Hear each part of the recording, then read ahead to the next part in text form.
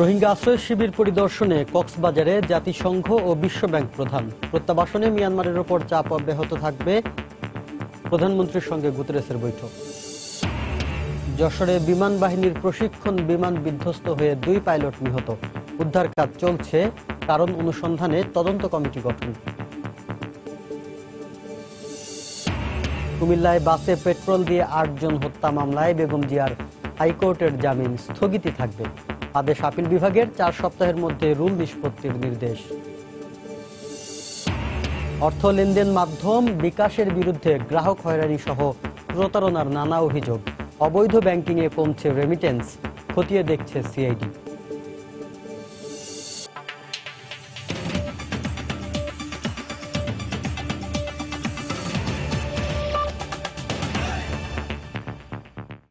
সময় সংবাদের সঙ্গে আছি আমি শাফিন জাহিদ রোহিঙ্গা ক্যাম্প পরিদর্শনের জন্য কক্সবাজার পৌঁছেছেন জাতিসংঘ মহাসচিব অ্যান্টনিও গুতেরেস এবং বিশ্বব্যাংক প্রেসিডেন্ট জিম ইয়ং কিম সকাল নয়টার দিকে কক্সবাজার বিমানবন্দরে পৌঁছান তারা সেখান থেকে হোটেল সাইমনে যান তারা পরে উখিয়ার ট্রানজিট পয়েন্ট পরিদর্শনে যান যাবেন তারা সেখানে কুতুপালং রোহিঙ্গা শিবিরে যাবেন জাতিসংঘ ও বিশ্বব্যাংক প্রধান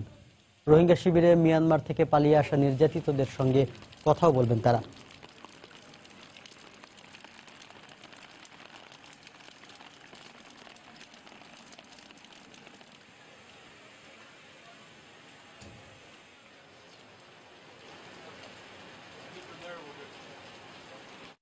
দর্শক এই বিষয়ে আরো জানাতে এই মুহূর্তে উখিয়ার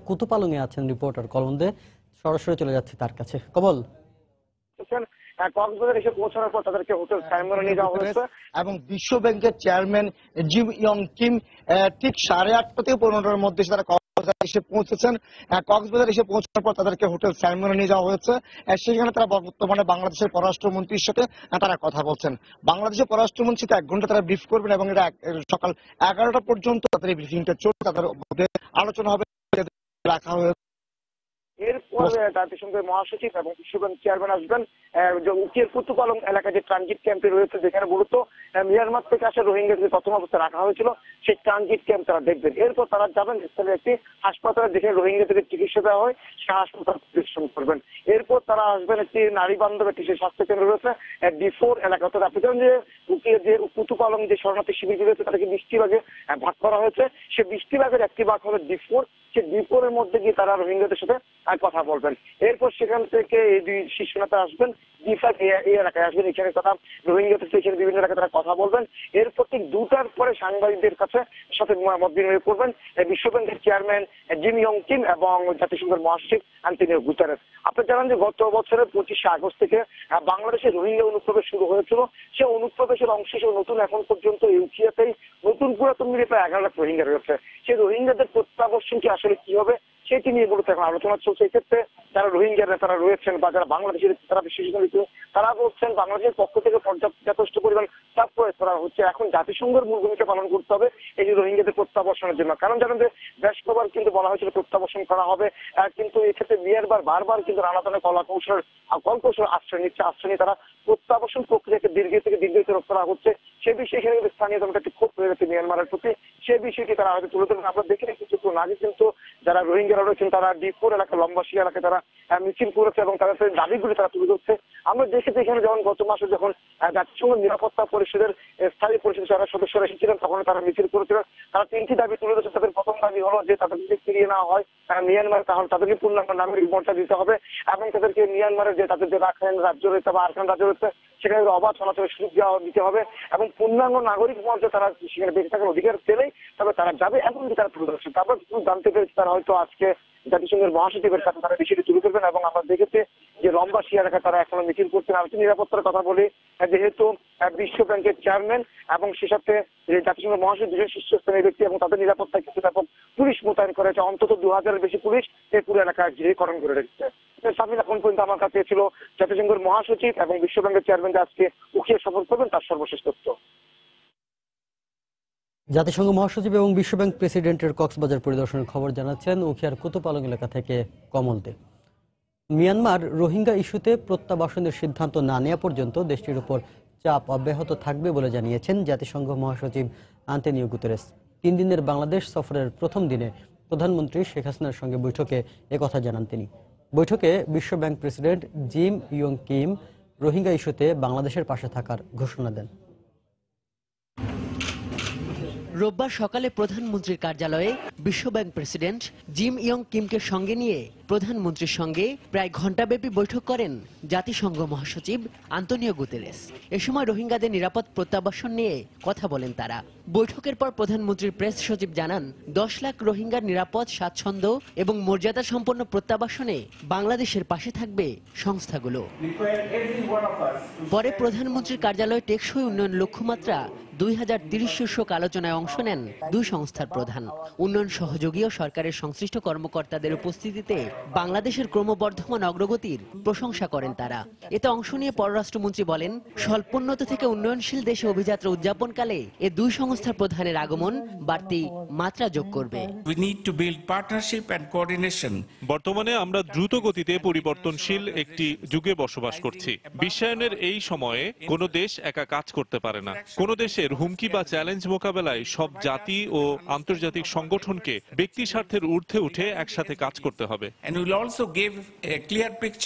দুপুরে ধানমন্ডিতে বঙ্গবন্ধু মেমোরিয়াল মিউজিয়াম পরিদর্শন করেন জাতিসংঘ এবং বিশ্ব ব্যাংক প্রধান এ সময় বঙ্গবন্ধুর প্রতিকৃতিতে শ্রদ্ধা জানান তারা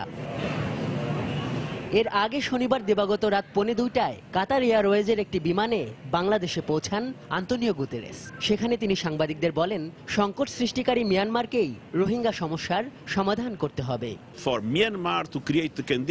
এটুকু বলতে চাই রোহিঙ্গা সংকট তৈরির জন্য দায়ী মিয়ানমারই তাই রোহিঙ্গাদের পূর্ণ মর্যাদা দিয়ে ফিরিয়ে নেওয়া এবং সংকট সমাধানের উদ্যোগ নিতে হবে মিয়ানমারকেই সফরের দ্বিতীয় দিন সোমবার কক্সবাজারে রোহিঙ্গা শিবির পরি পরিদর্শন সহ বিভিন্ন কর্মসূচিতে অংশ নেবেন বিশ্বব্যাংক প্রেসিডেন্ট ও জাতিসংঘ মহাসচিব আজহার লিমন সময় সংবাদ ঢাকা যশোরে বিমান বাহিনীর একটি প্রশিক্ষণ বিমান বিধ্বস্ত হয়ে দুই পাইলট নিহত হয়েছেন গতরাতে বিমানটি চান্দুটিয়া এলাকার বুকভরা বাউরে বিধ্বস্ত হয় নিহতরা হলেন স্কোয়াড্রন লিডার এনায়েত কবির এবং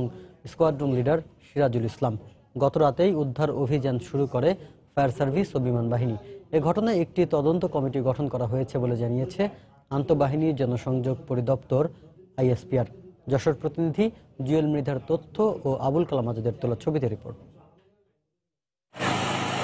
প্রত্যক্ষদর্শীরা জানান রোববার রাত নয়টার দিকে যশোর সদরের চান্দুটিয়া এলাকার বুকভরা বাওড়ে বিকট শব্দে একটি বিমান আছড়ে পড়ে এর পরপরই বিমানটি পানিতে ডুবে যায় বিমানটা শব্দ হইয়া পরে ডুস করে বাস্ট হয়ে গেল হওয়ার পরে আমরা বাজার থেকে দৌড়ে আসলাম বিভিন্ন জায়গা থেকে নৌকা আসার পরে ওই জায়গায় আপনার হচ্ছে পেট্রোলিং গন্ধ উঠছিল তারপরে একটা ডেকনা পাওয়া গেছে ওই জায়গায় আন্তঃবাহিনী জনসংযোগ অধিদপ্তর থেকে জানানো হয় রাত সাড়ে আটটার দিকে যশোর বিমানবন্দর থেকে স্কোয়াড্রন লিডার এনায়েত কবির পলাশ ও squadron leader Sirajul Islam K eight W নামে একটি প্রশিক্ষণ যুদ্ধ বিমান নিয়ে উড্ডয়ন করে উড্ডয়নের আধা ঘন্টার মধ্যেই নিয়ন্ত্রণ কক্ষের সঙ্গে বিমানটির সংযোগ বিচ্ছিন্ন হয়ে যায় এতে ওই দুই পাইলটেরই মৃত্যু হয় এইট এয়ারক্রাফট নাইট ফ্লাইংয়ের জন্য squad leader Siraj sir squad leader Enayet sir তারা সাড়ে আটটার সময়ের দিকে মানে মিনিমাম হয় সাড়ে আটটার সময় টেক আপ করছে টেক আপ করার পরে আমরা আধা ঘন্টা পরে আর শুনতে পাচ্ছি যে মানে, মানে তাকে পাওয়া রাডার কোনো পাওয়া যাচ্ছে না পরে বাইদে বাই শুনলাম যে এখানে এয়ারক্রাফট ক্র্যাশ করছে খবর পেয়ে যশোর থেকে ফায়ার সার্ভিস ও বিমান বাহিনীর উদ্ধারকারী দল ঘটনাস্থলে পৌঁছে উদ্ধার কাজে অংশ নেয় এ সময় দুই পাইলটের মরদেহ উদ্ধার করা হয় ঘটনাস্থল থেকে বিধ্বস্ত বিমানের বিভিন্ন যন্ত্রাংশ উদ্ধার করা হয় রাতে ফায়ার সার্ভিসের ডুবুরি দলও উদ্ধার কাজে অংশ নেয় যুদ্ধ বিমান যদি কখনো বিধ্বস্ত হয় এবং সেটা কখনোই পূর্ণাঙ্গ তার কোনো অংশ কখনো উদ্ধার করা সম্ভব হয় না ঠিক এই বিমানটার অবস্থা অনেকটা ওই রকম পার্সিয়াল বেশ কিছু অংশ আমরা ইতিমধ্যে উদ্ধার করেছি এবং বাকি যে অংশগুলো আছে তা অংশ বিশেষ উদ্ধার করা সম্ভব হবে একটা হুপ করে শব্দ আসলো শব্দ আসে ফটাস করে ফেটে গেল বাজার থেকে এই পাশে আইসে শুনলাম যে আরিসপুরি মাঠে পড়েছে হালসার মাঠে পড়েছে এখন কোনে যে পড়েছে নির্দিষ্ট কোনো কেউ সঠিক বলতে পারল না এ ঘটনায় উচ্চ পর্যায়ের একটি তদন্ত কমিটি গঠন করা হয়েছে সময় সংবাদ যশোর যশোরে প্রশিক্ষণ যুদ্ধ বিমান বিধ্বস্তের ঘটনায় দ্বিতীয় দিনের উদ্ধার কাজ শুরু হয়েছে সেই খবর জানাতে ঘটনাস্থলে আছেন রিপোর্টার তরিকুল ইসলাম সরাসরি চলে যাচ্ছি তার কাছে তরিকুল শাফিন আমি এই মুহূর্তে রয়েছি যশোরের আরিচপুরের বুক ভরা বাওড়ের সামনে আমরা আগে জানিয়েছিলাম যে এখানে কিন্তু গতকাল রাতে একটি প্রশিক্ষণ বিমান যেটি বিধ্বস্ত হয়েছিল এখানে এবং দুজন স্কোয়াডন লিডার এনায়েত করিম এবং সিরাজুল ইসলাম দুজনেই কিন্তু নিহত হয়েছেন এবং এই বাওড়ের ঠিক মাঝামাঝি জায়গায় অর্থাৎ যে বিমানবন্দর থেকে যশোর বিমানবন্দর থেকে পশ্চিমে এখানে মাঝ বরাবর এটি বিধ্বস্ত হয় এবং আমরা এই মুহূর্তে যে বিষয়টি জানাতে চাই সেটি হচ্ছে যে উদ্ধার তৎপরতা সকাল আটটায় শুরু হওয়ার কথা ছিল সেটি সাড়ে নয়টায় শুরু সোয়া নয়টার দিকে শুরু হয়েছে এবং এই মুহূর্তে উদ্ধার তৎপরতা চলছে এবং এখানে কিন্তু নৌবাহিনীর ডুবুরি টিম এবং সাথে সহযোগিতা করছে সেনাবাহিনী এবং এবং ফায়ার সার্ভিসে সহ অন্যান্য বাহিনীর সদস্যরা মিলে এই যৌথভাবেই আসলে এই উদ্ধার তৎপরতা চলছে আমরা যেটি দেখেছি যে ঘটনাস্থল থেকে যে বিমানটি বিধ্বস্ত হয়েছে বিমানের বিধ্বস্ত বিমানের বিভিন্ন অংশ তারা তুলে আনছেন এবং তুলে এনে পাড়ে এনে রাখছেন বাউলের পাড়ে এবং পর্যায়ক্রমে কাজগুলো চলছে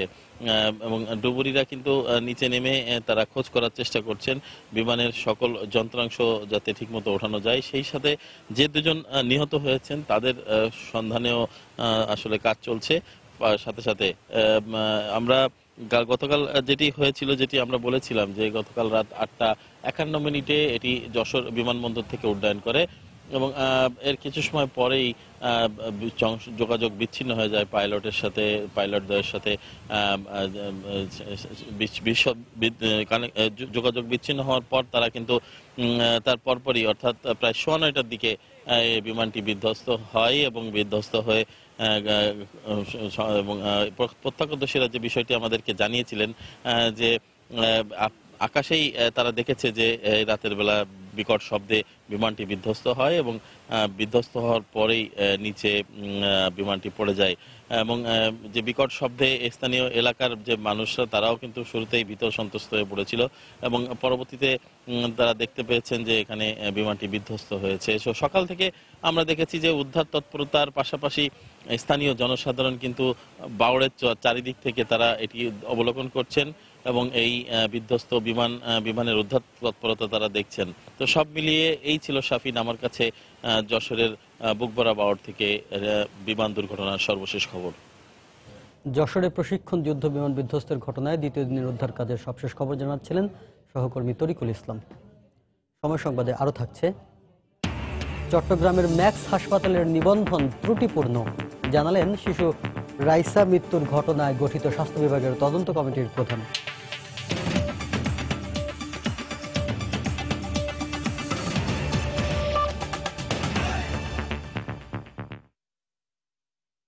কুমিল্লায় বাসে পেট্রোল দিয়ে আগুন দিয়ে আটজন হত্যা মামলায় হাইকোর্টের দিয়া বেগম খালেদা জিয়ার জামিন স্থগিতই থাকবে বলে আদেশ দিয়েছেন আপিল বিভাগ একই সঙ্গে চার সপ্তাহের মধ্যে জামিন সংক্রান্ত রুল নিষ্পত্তি করতে উচ্চ আদালতকে নির্দেশ দেওয়া হয়েছে সকালে প্রধান বিচারপতি সৈয়দ মাহমুদ হোসেনের নেতৃত্বে আপিল বিভাগের চার সদস্যের বেঞ্চ সর্বসম্মতিক্রমে জামিন স্থগিতের এই আদেশ দেন এর আগে কুমিল্লার এ মামলায় উচ্চ আদালত থেকে ছয় মাসের জামিন পান বিএনপি চেয়ারপারসন বেগম খালেদা জিয়া পরে রাষ্ট্রপক্ষের আবেদনের পরিপ্রেক্ষিতে বেগম জিয়ার জামিন সাময়িক স্থগিত করেন সুপ্রিম কোর্টের চেম্বার আদালত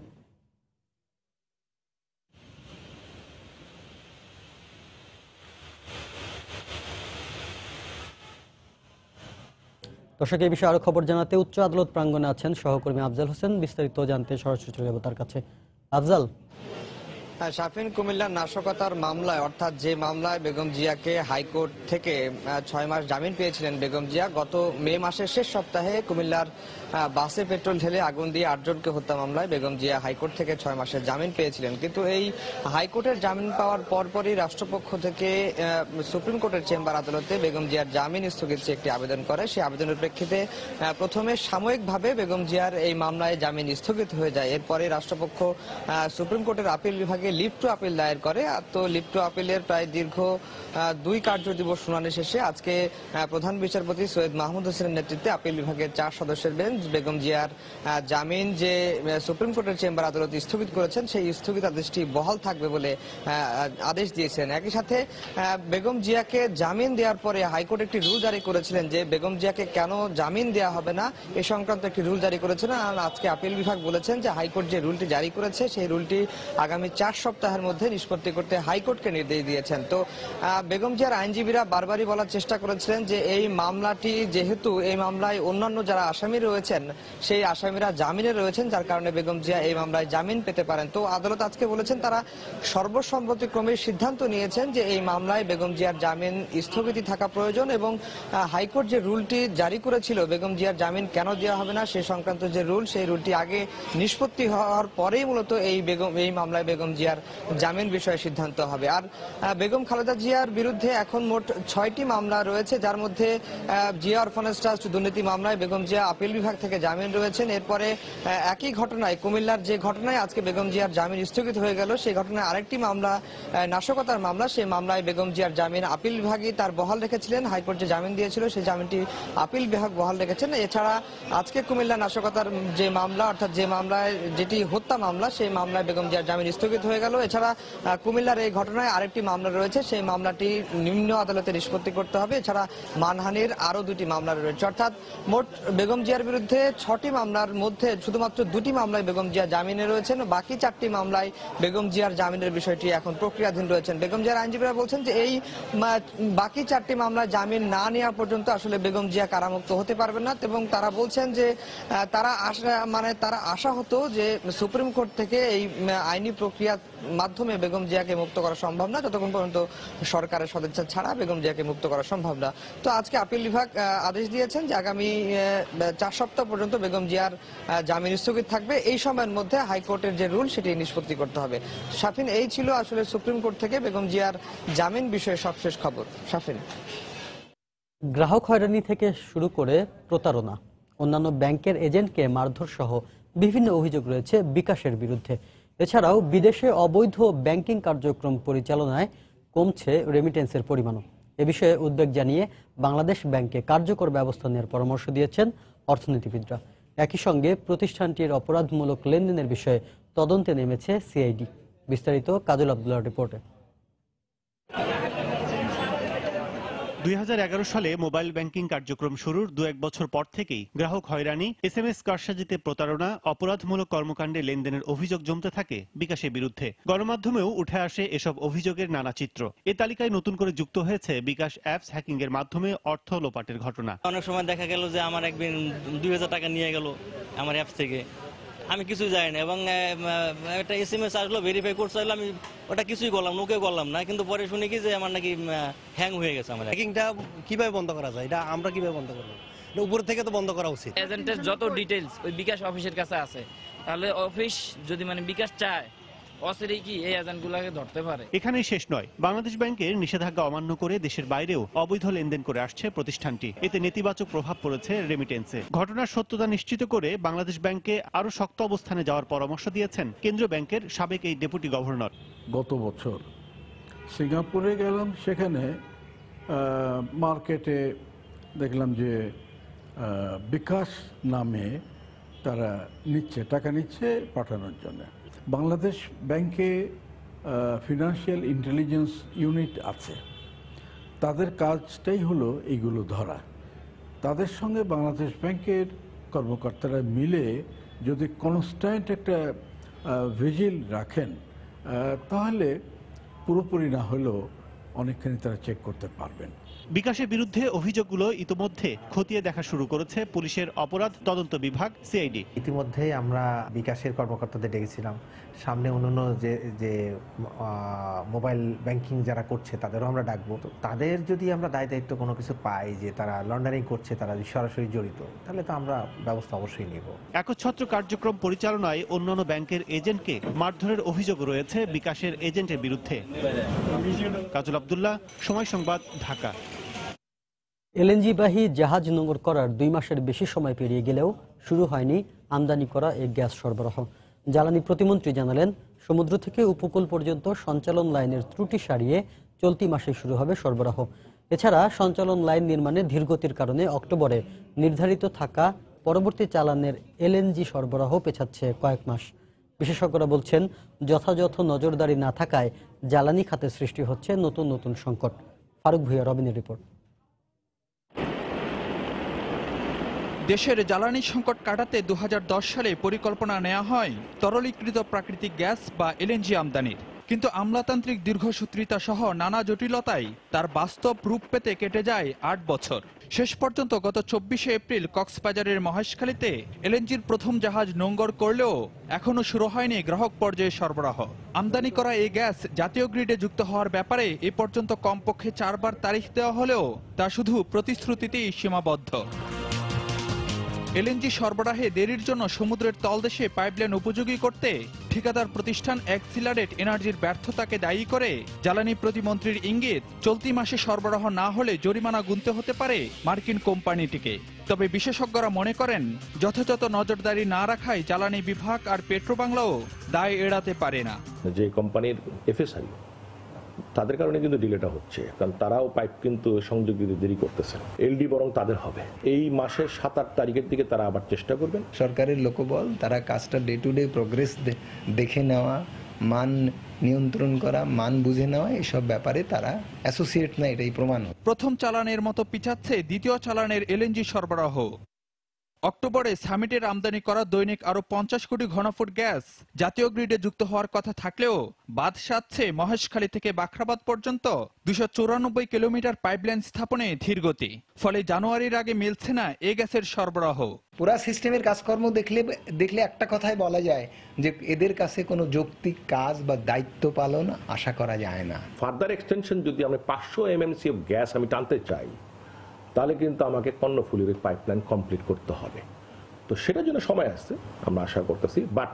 সময়ও কিন্তু খুব বেশি নাই আমদানির পর এলএনজিকে গ্যাসে রূপান্তরিত করে পাইপলাইনে সরবরাহ করা এমনিতেই ব্যয়বহুল এক্ষেত্রে জ্বালানি বিভাগের দক্ষতা ও পেশাদারিত্ব না বাড়ালে ব্যয় এবং সংকট দুই বাড়ার আশঙ্কা বিশেষজ্ঞদের ফারুক ভিয়া রবিন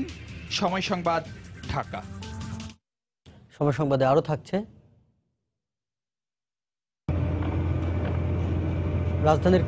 কোনো কারণে চট্টগ্রাম বন্দরে একদিনের ডেলিভারি বন্ধ থাকলে এর রেস্ট আনতে হয় অন্তত এক সপ্তাহ এবার ঈদ এবং তারপরের একদিন কন্টেনার উঠানামা স্বাভাবিক থাকলেও বন্ধ ছিল ডেলিভারি ফলে বন্দরে কন্টেনার স্তূপ জমতে শুরু করে ছত্রিশ হাজার ধারণ ক্ষমতার বন্দরে লরি সহ অন্যান্য যন্ত্রপাতি চলাচলের জন্য তিরিশ শতাংশ যায়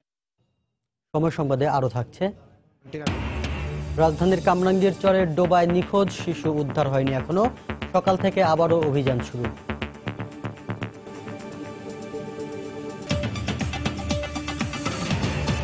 চট্টগ্রামের ম্যাক্স হাসপাতালের নিবন্ধন ত্রুটিপূর্ণ বলে জানিয়েছেন শিশু রাফিদা খান রাইফার মৃত্যুর ঘটনায় স্বাস্থ্য বিভাগের গঠিত তদন্ত কমিটির প্রধান ডাক্তার কাজী জাহাঙ্গীর হোসেন ম্যাক্স হাসপাতাল পরিদর্শন শেষে সাংবাদিকদের তিনি একথা বলেন আইন অনুযায়ী হাসপাতালটির বিরুদ্ধে ব্যবস্থা নেওয়া হবে বলেও জানান তিনি দর্শক আগে জানাচ্ছিলাম চট্টগ্রামের ম্যাক্স হাসপাতালের নিবন্ধন ত্রুটিপূর্ণ বলে জানিয়েছেন শিশু রাফিদা খান রাইফার মৃত্যুর ঘটনায় স্বাস্থ্য বিভাগের গঠিত তদন্ত কমিটির প্রধান ডাক্তার কাজী জাহাঙ্গীর হোসেন ম্যাক্স হাসপাতাল পরিদর্শন শেষে সাংবাদিকদের তিনি কথা বলেন আইন অনুযায়ী হাসপাতালটির বিরুদ্ধে ব্যবস্থা নেওয়া হবে বলেও জানান তিনি কাগজপত্র সংগ্রহ করেছি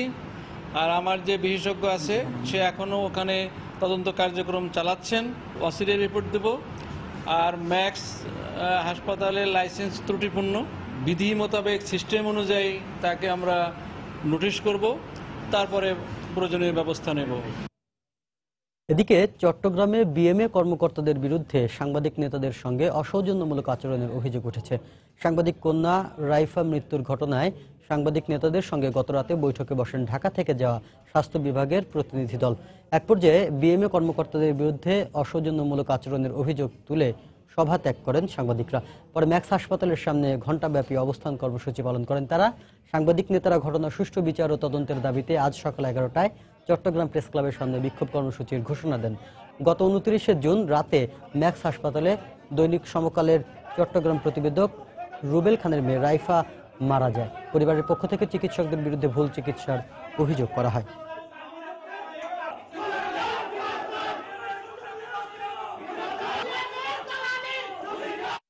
পরকীয়ায় বাধা দেয় বরগুনায় স্ত্রীকে কেরোসিন ঢেলে পুড়িয়ে হত্যার অভিযোগ উঠেছে ঘটনার পরে অভিযুক্ত স্বামীকে গ্রেফতার করেছে পুলিশ এ ঘটনার পর নিরাপত্তাহীনতায় আছে নিহত গৃহবধূর দুই শিশু সন্তান পুলিশ বলছে বাকিদেরও গ্রেফতারের চেষ্টা চলছে আরো জানাচ্ছেন এম এ আজিম তিন মাসের এ অবুধ শিশুটি ফ্যালফ্যাল করে তাকিয়ে তার মাকে খুঁজছে আর কিছুক্ষণ পরপর ক্ষুধার জ্বালায় কেঁদে উঠছে সে জানেই না তার মাকে চেয়ারে বেঁধে কেরোসিন ঢেলে পুড়িয়ে হত্যা করেছে তার পাষণ্ড বাবা স্বজনরা জানা নয় বছর আগে প্রেমের সম্পর্ক মেনে নিয়ে লবণগোলা এলাকায় প্রতিবেশী মহাসিনের সাথে বিয়ে দেন নাসরিনকে বিয়ের কয়েক বছর পরেই মহাসিন একই এলাকার হামিদা নামের আরেক মেয়ের সাথে পরকিয়ায় লিপ্ত হয় আর এ নিয়ে প্রায় তাদের মধ্যে ঝগড়া হতো গত চব্বিশ জুন ঝগড়ার এক পর্যায়ে স্বামী মহাসিন ও তার শ্বশুর বাড়ির লোকজন চেয়ারে বেঁধে আগুন ধরিয়ে দেয় একটা মেয়ের সাথে সম্পর্ক তার ওইটা ওই নাসরিন জানার পরে এবার দুজনে দ্বন্দ্ব হয় দ্বন্দ্ব হওয়ার পরে নাসরিনের ঘরে সাউন্ডবক্স বাজাই এবং মারে যেন পাশের মাসে না শোনে হাসপাতাল আসবার আমাকে ফোন দিছে যে একটু আপনি হাসপাতালে আপনার মেয়ের গায়ে আগুন লাগছে আমরা এই অবস্থায় বাসা করে শিক্ষক করলে দৌড়ে গেছি আমার পরে এনে দেয় যে মা আমার মনুষ্য অবস্থা পড়ে রয়েছে ওরা কার ছায়ায় দাঁড়াইবে কারে মা কইয়ে ডাক দেবে আর কে ডাক সারা দেবে চাই পরে প্রতিবেশীরা চিৎকারের শব্দ শুনে নাসরিনকে উদ্ধার করে বরগুনা হাসপাতালে ভর্তি করলে প্রথমে বরিশাল পরে ঢাকা মেডিকেলের বার্ন ইউনিটে পাঠিয়ে দেয় চিকিৎসকরা নাসরিনের উপর এমন নির্যাতনে ক্ষুব্ধ এলাকাবাসী এমন বিচার হওয়া উচিত কঠিন বিচার যাতে এলাকার মানুষ সাহায্যের সম্মিলে থাকতে পারে মেয়েদের উপর নির্যাতন না করে এদিকে যারা নির্মমভাবে হত্যা করতে পেরেছে হয়েছে তাদের কাছে নাসরিনের দুই সন্তান নিরাপদ নয় বলে দাবি নাসরিনের স্বজনদের হেলে আমার নাতিকে কি রাখবে হেলে আমি আপনারা নিদিবি দেবেন আমি ভিক্ষে করিয়ে পালমু এ ঘটনায় পাঁচজনকে আসামি করে নাসরিনের বাবার দায়ের করা মামলায় স্বামী মহাসিনকে গ্রেপ্তার করেছে পুলিশ অভিযোগের প্রেক্ষিতে আমি মামলা রুজু করছি এবং মূল আসামি যে মহাসিন সে গ্রেপ্তার বাকি আসামি উনি যারা নাম দিয়েছেন যাদের তাদেরকে গ্রেপ্তারের চেষ্টা অব্যাহত আছে গত তিরিশ জুন শনিবার সকালে ঢাকা মেডিকেলের বার্ন ইউনিটে নাসরিনের মৃত্যু হয় এম এ আজিম সময় সংবাদ বরগুনা রাজধানীর কামরাঙ্গীর চরে ডোবায় নিখোঁজ শিশুটিকে এখনও উদ্ধার করা সম্ভব হয়নি অন্ধকারের জন্য গত রাত সাতটার দিকে উদ্ধার কাজ স্থগিত করেছিল ফায়ার সার্ভিস আজ সকালে আবারও শুরু হয় অভিযান প্রত্যক্ষদর্শীরা জানান পূর্ব রসুলপুর এলাকায় গতকাল দুপুরে একটি ডোবার পাশে খেলছিল পাঁচ বছরের হৃদয় ও ছয় বছরের ইমন এ সময় হৃদয় আবর্জনা ভরা ডোবার পানিতে পড়ে যায় তাকে উদ্ধারে ঝাঁপ দেয় ইমন এক পর্যায়ে দুজনই ডুবে যায় পরে হৃদয়কে জীবিত উদ্ধার করলেও খোঁজ মেলেনি ইমনের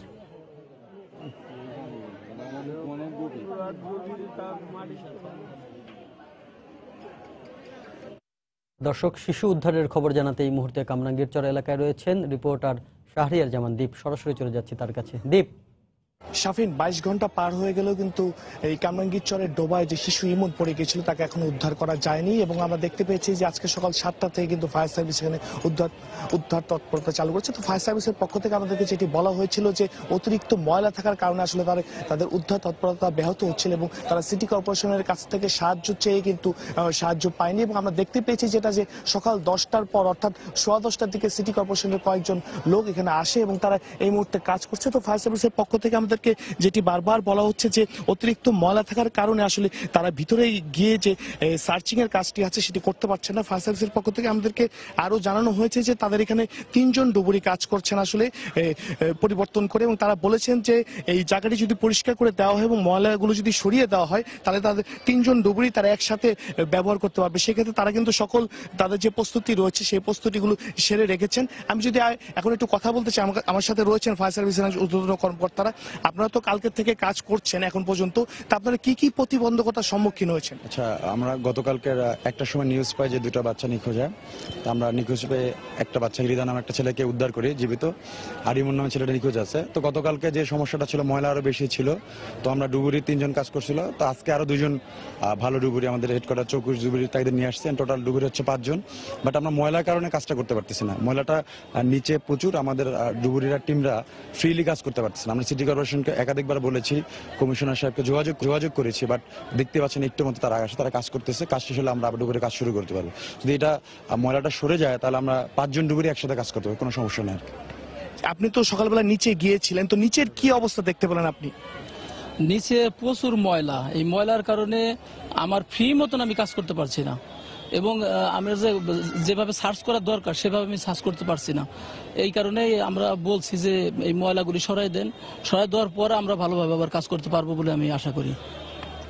দর্শক ঠিক যেমনটি আপনারা শুনছিলেন যে ফায়ার সার্ভিসের কর্মকর্তারা যেমনটি বলেছেন যে ময়লা অতিরিক্ত পরিমাণ ময়লার কারণে কিন্তু তারা কাজ করতে পারছে না এবং তারা বলছেন যে তাদের সকল প্রস্তুতি রয়েছে ময়লাগুলো যদি সরিয়ে দেওয়া হয় তারা আসলে পুরো যে ডোবাটি রয়েছে সেই ডোবাটি কিন্তু তারা সার্চ করতে পারবে তো শাফিন এখানে আমার কাছে যে সর্বশেষ তথ্যটি রয়েছে যে দ্বিতীয় দিনের সকাল সাতটা থেকে যে ফায়ার সার্ভিস উদ্ধার তৎপরতা শুরু করেছিল সেটি চলমান রয়েছে এবং তারা বলছে যে যতক্ষণ পর্যন্ত শিশু ইমনের কোনো সন্ধান না পাওয়া যাবে তারা এই উদ্ধার তৎপরতা চালিয়ে যাবে সাবির কামরাঙ্গীর চরের শিশু উদ্ধারের খবর জানাচ্ছিলেন রিপোর্টার শাহরিয়ার জামান দ্বীপ সময় সংবাদে আরো থাকছে যুক্তরাষ্ট্রের জন্মদিনের অনুষ্ঠানে ছুরিকাঘাতে আহত নয় হামলাকারী আটক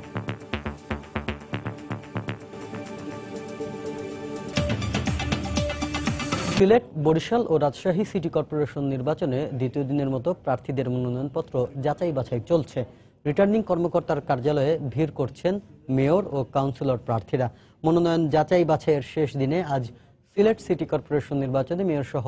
বারোটি সাধারণ ওয়ার্ড ও সংরক্ষিত চারটি ওয়ার্ডের প্রার্থী যাচাই বাছাই করা হচ্ছে এর আগে গতকাল পনেরোটি সাধারণ ও সংরক্ষিত পাঁচটি ওয়ার্ডের প্রার্থী যাচাই বাছাই করা হয় বরিশালে ষোলো থেকে ৩০ নম্বর ওয়ার্ড ও সংরক্ষিত ওয়ার্ডগুলোর কাউন্সিলরদের মনোনয়নপত্র যাচাই বাছাই চলছে এছাড়াও রাজশাহীতে আজকের মধ্যে সব প্রার্থীদের মনোনয়নপত্র যাচাই বাছাই শেষ করা হবে বলে জানিয়েছেন রিটার্নিং কর্মকর্তা আগামী নয় জুলাই মনোনয়নপত্র প্রত্যাহার দশে জুলাই প্রতীক বরাদ্দের পরে শুরু হবে তিন সিটি কর্পোরেশন নির্বাচনের আনুষ্ঠানিক প্রচারণা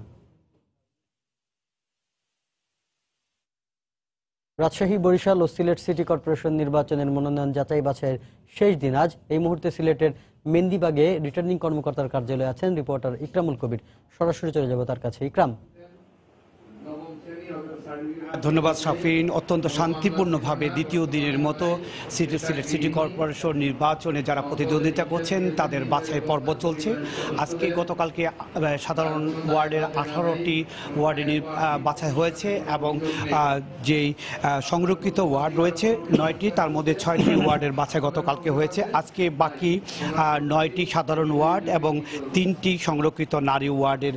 বাছাই চলছে সকাল থেকে এবং গতকালকে যে বাছাই হয়েছে তারপরে নব্বই জন সাধারণ ওয়ার্ডের নব্বই জন প্রার্থীকে বৈধ ঘোষণা করা হয়েছে তার মধ্যে সাতজন বাতিল করা হয়েছে এবং নারী সংরক্ষিত নারী ওয়ার্ডের ছত্রিশ জনকে বৈধ ঘোষণা করা হয়েছে তিনজনকে বাতিল করা হয়েছে আজকে সাধারণ ওয়ার্ডের বাকি সাতচল্লিশ জন প্রার্থী এবং সংরক্ষিত নারী আসনের সাতাইশ জন প্রার্থীর বাছাই চলছে ইতিমধ্যে দুজন প্রার্থীর মনোনয়নপত্র বাতিল বাতিল করা হয়েছে আজকে একটি গুরুত্বপূর্ণ বাছাই রয়েছে সেটা হচ্ছে পনি একটা সময় মেয়র প্রার্থী যারা রয়েছেন যে নয়জন মেয়র প্রার্থী প্রতিদ্বন্দ্বিতা করছে করেছেন তাদের বাছাই হবে পৌনে একটার সময় এবং এই পৌনে একটার সময় মেয়র প্রার্থী যারা আছেন তাদের বাছাইয়ের বাছাইয়ের পরপরই দ্বিতীয় দিনের মতো অর্থাৎ শেষ হবে বিভিন্ন ওয়ার্ডের বাছাই পর্বগুলো এবং আপনারা জানেন যে আগামী নয় তারিখ শেষ দিন এবং দশ তারিখ প্রতীক বরাদ্দ করা হবে এবং দশ তারিখ প্রতীক বরাদ্দর পরপরই সিলেট সিটি কর্পোরেশনের যে নির্বাচন সেই নির্বাচনের প্রচার প্রচারণা শুরু করবেন প্রার্থীরা অত্যন্ত এই পর্যন্ত গত তেরো তারিখ শিডিউল ঘোষণার পর আজ পর্যন্ত যে তিরিশে জুলাই নির্বাচন হবে সেই নির্বাচনের জন্য প্রার্থীরা তার সমর্থক এবং ভোটার অত্যন্ত শান্তিপূর্ণ পরিবেশে উৎসব মুখর পরিবেশে সমস্ত কার্যক্রম চালিয়ে যাচ্ছেন এখন আপনারা দেখতে পাচ্ছেন যে returning officer Sylhet city corporation নির্বাচনের রিটার্নিং কর্মকর্তা মোহাম্মদ আলিমুজ্জামান এই যে বাছাই পর্বটি পরিচালনা করছেন একে একে ওয়ার্ড ধরে ধরে বাছাই করা হচ্ছে এখন বাইশ তেইশ চব্বিশ নম্বর ওয়ার্ড ওয়ার্ডের যারা প্রার্থী আছেন কাউন্সিলর প্রার্থী তাদের বাছাই করছেন সংরক্ষিত নারী ওয়ার্ড এবং সাধারণ ওয়ার্ডের প্রার্থীরা বসে আছেন পাশাপাশি আইন শৃঙ্খলা রক্ষা বাহিনী যারা আছে তারাও আছেন কারণ হচ্ছে কি তাদের বিরুদ্ধে কোনো মামলা আছে কিনা প্রার্থীদের বিরুদ্ধে আয়কর বিভাগের কর্মকর্তারা আছেন এখানে রয়েছেন ব্যাংকের কর্মকর্তারা আছেন অর্থাৎ হচ্ছে কি একটি নির্বাচনী প্রক্রিয়ায় যারা যারা প্রয়োজন তারা সবাই এখানে আছেন কোনো ঋণখেলাপি আছেন কিনা কেউ বা অন্যান্য কোনো কাগজপত্র ত্রুটি আছে কিনা সব জানার জন্য বিভিন্ন ডিপার্টমেন্টের বিভিন্ন কর্মকর্তারা এখানে উপস্থিত আছেন আমরা গতকালকেও দেখেছি আজকেও দেখেছি শান্তিপূর্ণভাবে সমস্ত নির্বাচনী প্রক্রিয়া চলছে আশা করা যাচ্ছে এবং প্রার্থীরা বলছেন এবং ভোটাররা বলছেন একটি উৎসব মুখর পরিবেশে আগামী তিরিশে জুলাই সিলেট সিটি কর্পোরেশন নির্বাচন অনুষ্ঠিত হবে সাফিন এই ছিল সিলেট সিটি কর্পোরেশন নির্বাচনের বাছাই প্রক্রিয়ার দ্বিতীয় দিনের সর্বশেষ খবর এ পর্যায়ে শীর্ষ সংবাদগুলো জানিয়ে দিচ্ছি আরেকবার রোহিঙ্গা আশ্রয় শিবির পরিদর্শনে কক্সবাজারে জাতিসংঘ ও বিশ্ব ব্যাংক প্রধান প্রত্যাবাসনে মিয়ানমারের উপর চাপ অব্যাহত রাখা হবে প্রধানমন্ত্রীর সঙ্গে গুতেরেসের বৈঠক যশোরে বিমান বাহিনীর প্রশিক্ষণ বিমান বিধ্বস্ত হয়ে দুই পাইলট নিহত উদ্ধার কাজ চলছে কারণ অনুসন্ধানে তদন্ত কমিটি গঠন কুমিল্লায় বাসে পেট্রোল দিয়ে আটজন হত্যা মামলায় বেগম জিয়ার হাইকোর্টের জামিন স্থগিতি থাকবে আদেশ আপিল বিভাগের চার সপ্তাহের মধ্যে রুল নিষ্পত্তির নির্দেশ অর্থ লেনদেনের মাধ্যম বিকাশের বিরুদ্ধে গ্রাহক হয়রানি সহ প্রতারণার নানা অভিযোগ অবৈধ ব্যাংকিংয়ে কমছে রেমিটেন্স খতিয়ে দেখছে সিআইডি